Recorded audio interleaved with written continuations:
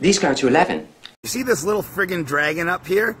These dragons symbolize whenever you're entering and leaving the city of London. So on this side, city of London. On this side of the dragon, we're leaving London. It's going to the West End.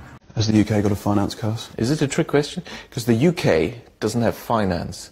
The City of London has, and it's not part of the UK. Good answer.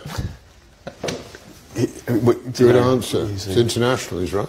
The City of London is outside the United Kingdom. Do you know that? It's, it's really shocking. And it, therefore, it's also not part of the EU, which explains uh, the. Although it couldn't be part of the EU because you have to have democratic elections, and the City of London doesn't, right? It's, it's the banks that have the votes, right? Right.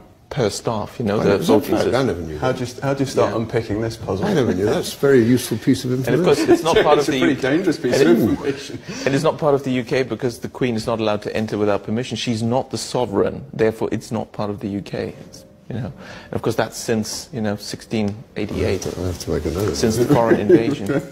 What do these dragons represent? Well, there's 13 of them. What do you think they represent? Boom, the 13 bloodlines of the ruling families that really run the world.